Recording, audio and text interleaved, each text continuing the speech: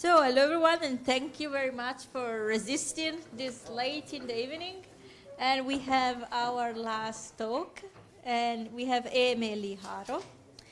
Um, he works at Mozilla on the localization system and toolchain management, and is going to have a talk on the road to int message format. Intl.MessageFormat. Oh, yeah. the Intl.MessageFormat. Yeah. I should have checked that. It's okay. Hi. Hi. So um, the last talk by was, if you were here, was a lot about where we are now, what we can provide now already in Pontoon and otherwise, how localization is now happening at Mozilla. What I'm going to be talking to you about is what's kind of coming up. What's, what are some of the next things in localization that we're working on and that we think are really quite important. And um, so, so yeah, I've, um, I'm on the same team with Matjaž. Um, I'm a staff a software engineer, but I've been doing this sort of stuff kind of for fun for, for ages, it feels like now. Turns out that when you get really into localization in, in JavaScript in particular, there aren't too many other people who are that into it, and then somehow you might end up hired by Mozilla to do the things you were doing for fun, for, for pay. So that's kind of nice. Hint, hint, you know, it's a good company. Um, I, in addition to, to, working just on code at Mozilla, I spend a lot of time in a bunch of different standards bodies working on the standards uh, for localization in particular.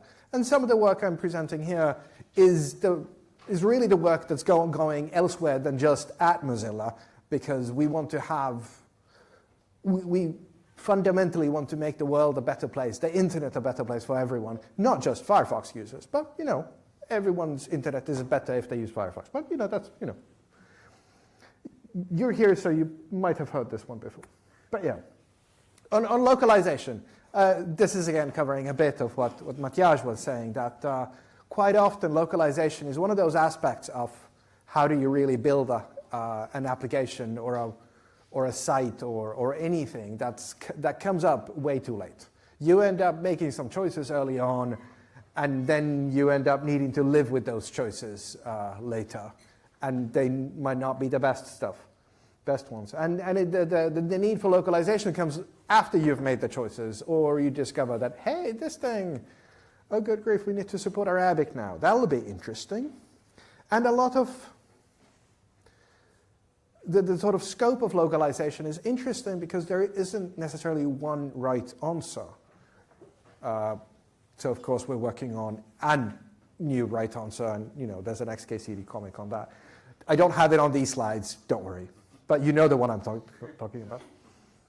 So things could definitely be better. So we're trying to, to, to make some of this improvement happen. Uh, it should be easier to localize content, and that there should be a common way of, of doing this. Um, so that uh, the experience and use uh, the, the, the, benefits that you get from using software and libraries in one place can map to elsewhere.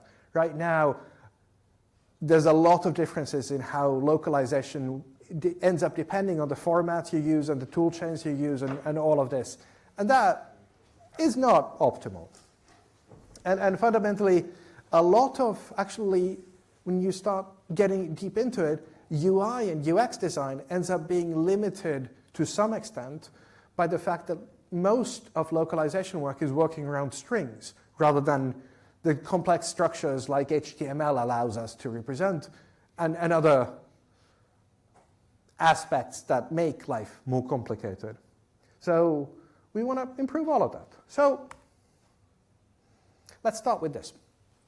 This is nominally something simple. Hopefully most of you can read HTML to figure out that here we have this small little span that says that Brussels is the capital of Belgium. I've lived here. I know it's more complicated than that. So let's just go on.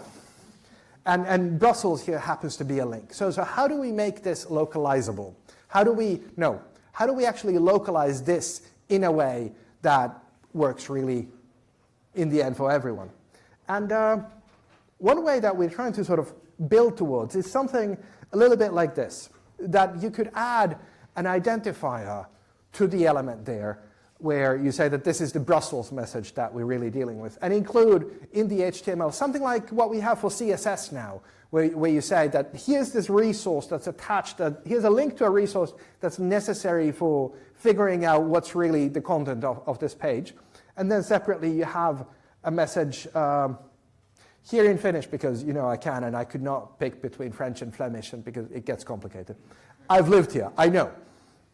Bryssel on Belgian pääkaupunki. Um, and, and here, the, the, the, format that we're using, I'm going to get to that later, but there's a couple of interesting things here. In particular, the, the fact that we're marking up the, the, the Brussels uh, text there as the, the contents of a, uh, the text of a link, so that we'll be able to, to map that to the link, the A href that we have in the, in the source document there in English. And because it's, you know, of course, a little bit more complicated than this, uh, it happens to be a link to Wikipedia. So they, in this particular case, but not usually at all, we could allow the translator to say that, hang on, this link in Finnish should really go to the Finnish Wikipedia page on Brussels rather than the English one. And this is like, I can present to you. You can see the screen. You can kind of get what you're looking at here. But honestly, getting this to a state where you can get a translator who's not a developer to see this and understand what they're supposed to do and not screw it up and provide useful things, useful content in, in all the languages, well, the, the languages that this translator is working on, it gets kind of hard. So we're trying to, you know, make that a thing. And um, the, the, the, rest of this presentation is really going to answer these three questions that I kind of would have hoped some of you would be asking, but you're not. It, they're really questions in my head I wish you would be asking. You might have as well. But is, these are the questions of the, the, the, theoretical guy in my head uh, might be asking. What's the format of this thing that we just saw? And is this really going to work like everywhere? And uh, how's this going to make my life better now? Or do I need to start using this whole new thing? And, and that's going to be a pain. So I don't want to do that. To, to tackle the first one, um, the, the answer ultimately to all of that is to standardize everything. And the, the first thing we're going to talk about standardizing is the message there itself. And, and one particular thing that some of you might have noticed is that it had curly braces around the text there, around the Bryssel on Helsingin pääkaupunki, uh, sorry, Bryssel on Belgian pääkaupunki. Uh, sorry, what's that? Um, and this is because it turns out that when you're building a message formatting language like this, oh good grief, are there corner cases. Oh good grief, is it like hard, like proper hard, because you're, you're trying to write a formatting language that developers understand, and then get the developers to write content in that language that translators understand without needing to have the developers necessarily understand how translators think. So you need to find an intermediate language for the communication to happen that explicitly limits and forces the communication to, to work in a way that works. And uh, this is one of the reasons why some parts of this work have been in, in the active standards body for like three years so far. But yeah, one reason for those curly braces there is that quite often um, messages get complicated because you need to vary different parts of them depending on different variables. In English, for instance, uh, it matters, is it a he or a she or a they who might have, you know, done the action here of sent an invite to a party. So we need to, to have a language message format too, which I'm presenting to you here, to, to, to enable this sort of a communication. And of course, it gets more complicated than this. Because you can have stuff like here we have um, a, a, need to include something more in the message of, of uh, the relative time, like say three days ago. Um, that, that's included here. So the language needs to allow for internal variables for this message to be definable in a way that translators can kind of see what's going on and hopefully not touch it too much, because hopefully they don't need to do that, but still be able to do so if they really, really need to. So, so this is about the space of what's possible in most current, no, in some of the current message formatting languages. At least uh, Project Fluent, which we maintain and, and work with, and maybe one or two others. But when it gets really more complicated than that, this, is, this gets on the edges of not really even supported anywhere. Uh, when you have here, what we have are multiple different variables being defined, and then the matching on which of these messages really the, the message we're building, it depends on how many people as well as the uh, gender of the host. So this isn't even a full listing of the whole uh, set of possible when cases that could be selected here. But this is all possible. In, it quite often happens when you really want to formulate uh, UX experience that is, uh, that is approaching natural language. And, and this is, again, referring to what I mentioned earlier. A lot of this stuff just isn't, is, is, is the choices that people are making now regarding message formatting, how do they formulate it, are driven by the limitations of the technologies that we have available for us. So UX itself is being driven in certain directions because message formatting is hard. And you don't end up really having messages like this in your UI if you care about localization because whoever's you know, filtering your messages before they go to the, the translators, the localizers, is going to tell you, yeah, no, you can't do that. They're not going to ever be able to work with it. So please fix. And then you end up even maybe building the UI differently in order to accommodate these needs. With message format 2, which this is, I, I kind of hope we can get beyond that. Have the possibility and the options of having even richer content in, the, in, in everything that we're working with. But um, the second question there uh, was about, is this really going to work everywhere? And yes, and we're doing that by, by trying to, to make much of the work happen at the lowest possible appropriate level for the work. So a lot of this is happening in the Unicode consortium, and then we've got work going on in TC39 for JavaScript. Um, it's being added to, to, to the ICU libraries uh, provided by Unicode as well. And eventually, um, we're hoping to get, uh, probably in WhatWG, uh, discussions ongoing about the structure of, of the, the HTML stuff that I was showing you earlier, because that doesn't exist either yet. And uh, one particular part of this, I, am my background is as a JavaScript developer, is that this is the first time we're really adding something to the JavaScript language itself at the level of like JSON.parse, where you have this string representation of a thing that's not JavaScript, and uh, you, you get an object or a thing out of it. I think that's really cool. But we're still working on that. And the, the uh, part here that makes this extra interesting is that we're not just talking about a new syntax, but effectively through the work we've been doing, it's looking an awful lot like everything in every single message formatting language that currently exists and is in use somewhere that is, you know, we, that we can know about that is not like closed and proprietary is supported in the data model that we end up with for message format 2.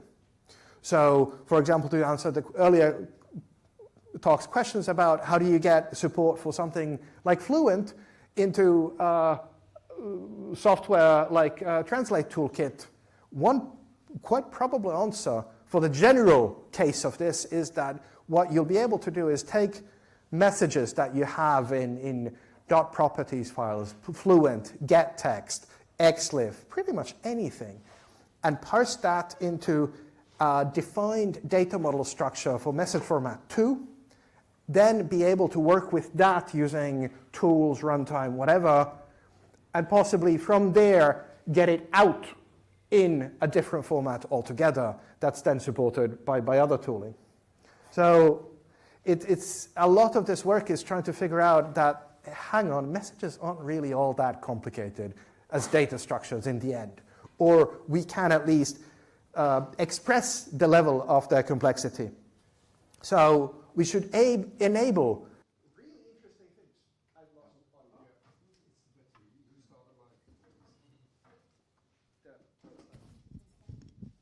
Hello again. So yeah, um, I think I was about done with this slide. And going on, um, one one key part here is that all of this is already real. So the, the, the, what, what I showed you in HTML is not exactly what we use internally at Mozilla, but it's effectively the same as how Firefox is now already translated. We have by now literal years of experience of working with tooling like this and seeing how it empowers UI UX development of a relatively complicated piece of software like Firefox to, to improve itself and uh, to enable easier and better communication between developers and translators. And so, so we're bringing a lot of that knowledge and experience into what we're doing in uh, the Unicode Consortium on, when designing message format 2, which is, yes, taking inspiration, but also uh, learnings from Fluent and many other systems that uh, make it honestly a better, better than Fluent currently is, for instance. Which is why we're now pitching that as the really cool, sexy thing. Even though, I mean, if you're interested, it is the currently coolest thing around that's real. This is still in progress. Uh, so, you, you, know, you could be interested in that. Um, the, as I mentioned, the, the syntax itself for messages is getting uh, defined uh, under the Unicode Common Language Data Repository Technical Committee. There's a working, it gets complicated in these things. And uh, there's an implementation available in ICU 72 for Java. Um, and uh, the JavaScript proposals, uh, there's two of them at stage one currently for this, are progressing in TC39, which is the, the, the body that defines JavaScript effectively. And there's a polyfill package for, for JavaScript if you want to start playing around with what message format 2 looks like and how you can work with it. Um, but yeah, all of this is, of course, completely public. Um, the, uh, all of the repositories, all of the work standards are being developed completely in the open. And um, I mean, honestly, localization is one of those weird places where we don't need to filter anyone on credentials for like anything because in, in terms of who wants to actually participate in the standards actions and, and standards work, it's enough that you show up and you show some level of interest and we'll let you in in all the like inside clubs and, and because there aren't any. Um, the, the it, it, it's a community where really you can, if you're interested, you should not be afraid of, of someone saying, no, you don't belong here, because you do. We, we need always more people participating. Um, yeah, there's links to me as well. Uh, and also this talk is available at the URL there at the bottom. It's also attached to the uh, talk on pentabarf. Um, but yeah, that was me.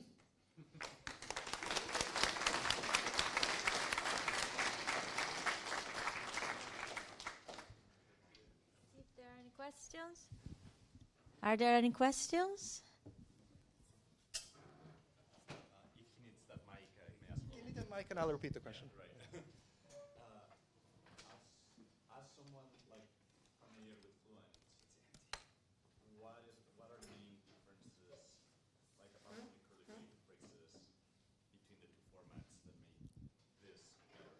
The, the question is, was what really makes message format 2 better than uh, Fluent?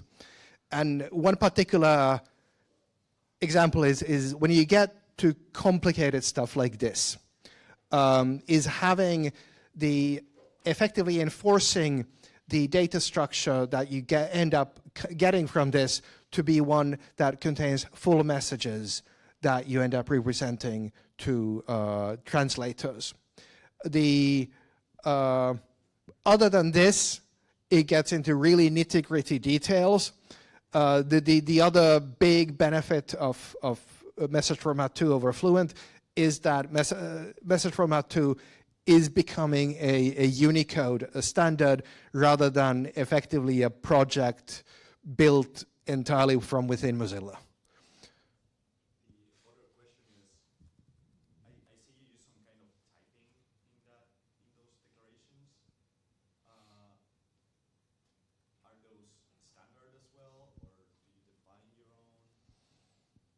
So, so the question here is about seeing the, the so, sort of typing that you see, the, the, the, colon number and the colon relative time, and uh, actually the colon gender is the same sort of thing here. What are those, and are these custom or centrally defined? And the answer is kind of yes and no, and it's complicated. because what you're looking at here are effectively functions that act a little bit like types, but they're not exactly like types. They're declaring, for example, that the count that we're getting, let's handle it as a number, but also let's, in the value of it that we end up assigning to count other, use an offset of one. So it's an operation happening on the input argument count. And on the third line in the match uh, for the host's gender, we could imagine host being some complicated object that's defining a, a, whole person, and we're picking the gender information from that more complex uh, thing. But yes, in many cases, they work kind of like types. In Fluent, uh, these are the capital uh, number, capital date time, and capital uh, platform functions that can be used in this sort of way as well. Just be loud. I'll repeat your question.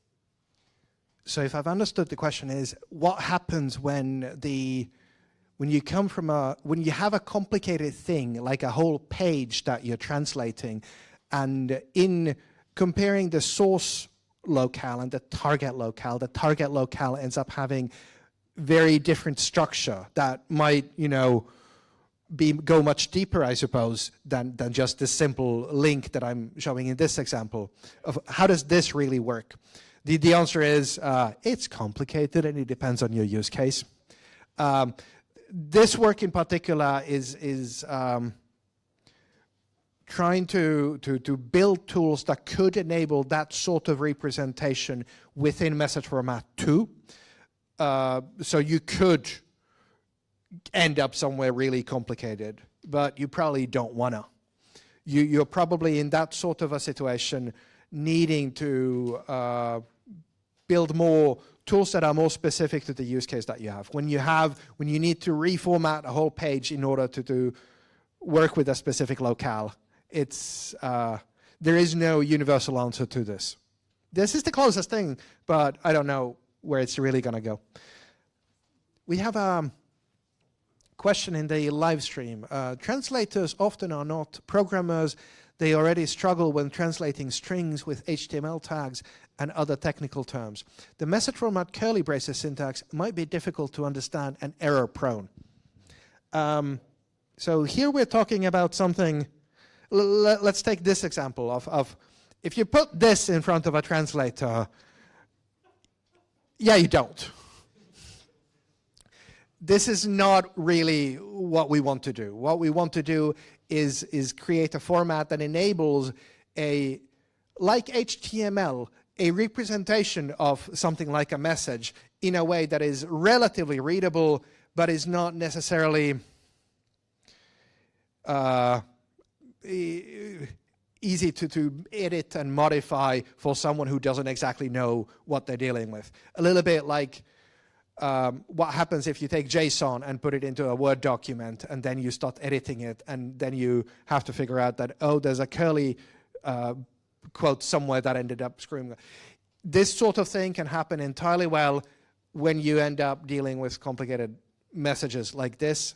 So the answer here is that you end up using tooling that gets this to not be presented as one thing to a translator, but three, uh, yeah, in this case, uh, three or more different messages where you end up uh, asking a translator wants to, to translate name invited you to her party on relative date. And, and a, a second to, to ask them to translate name invited you to his party on relative date. And in, in Finnish, allow a translator, because Finnish doesn't, he and she translated the same word. So in Finnish, the equivalent of this message would end up being effectively just a third case without the whole matching, because the structure of the language works differently. So you do end up, when working with messages of this level of complexity, effectively needing to rely on tooling. But the wonderful thing about message format 2 is that we can transform this representation of this message into any other representation of this message that's hopefully going to work with whatever tooling is then available for the actual translation work to happen in.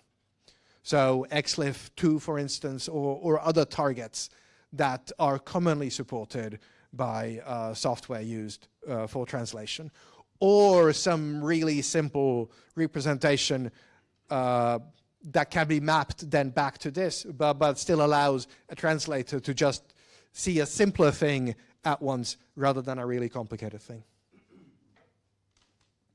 I think there's more questions, but are we out of time? It's two minutes. Uh, guy in front, yellow. Okay, so my question is I can guess um, that uh, you're targeting uh, uh, the new message format as a successor of all previous attempts at message formats. Technically it is relatively easy to make sure that everything representable in previous message formats is representable in the new one? How are you solving the, the problem that you are really encompassing all the different languages in the world? Because like all the examples we saw were in English, perhaps some of that, uh, some of the others might be in like French or another Indo-European language. Uh, the, the, the casing here is just for female or male. They're uh, uh languages with much more complicated uh, uh, noun systems. Um, in some languages, you might be uh, uh, writing a single message in several um, writing systems. So um, how do you make sure that the new um, message format encompasses all these different strange cases for localization? If I understand the question right, you're asking how do we make sure that this isn't really what seems to work for English and a couple of languages around English, but hopefully all the languages? Or a sizable number of languages. Or a sizable number of languages. Um, the short answer here is that uh, with Fluent, we've already, we're already doing exactly this, using a representation of messages that is very close to this. So for, for instance, at Mozilla, from this experience, we can say that uh, the simpler than this structure that we have for Fluent ends up working in all of the languages that we need to deal with uh, uh, through Fluent, which is about 100 for Firefox, 200 overall for the whole pro all of the different uh, projects that we are currently translating. Uh, separately from this, um, the, the work being done for message format 2 is by no means uh, done really from uh, an English language point of view. Uh, of the main contributors currently working on the specification, um, my background is Finnish, uh, there's a Polish guy, then there's a Romanian, then there's a Sri Lankan, And there's a couple of others who are on the periphery of this, who are from a much wider variety of backgrounds than this. So we are bringing and ensuring that these sorts of uh, considerations are actively being remembered to, to be taken care of. Um, so to some extent we are relying on the expertise that we have to some extent we are relying on the experience we have with working with similar formats than what we're presenting here but also we're trying to build a, form, uh, a core specification for message formatting that is um, sufficiently small but modular and powerful to then enable the support later on that is required by human languages we're trying to limit you know, to just being able to support human languages, but it might go a little bit beyond that too. I think we're at time. Um, I'm very happy to have people come and ask me questions after. Thank you.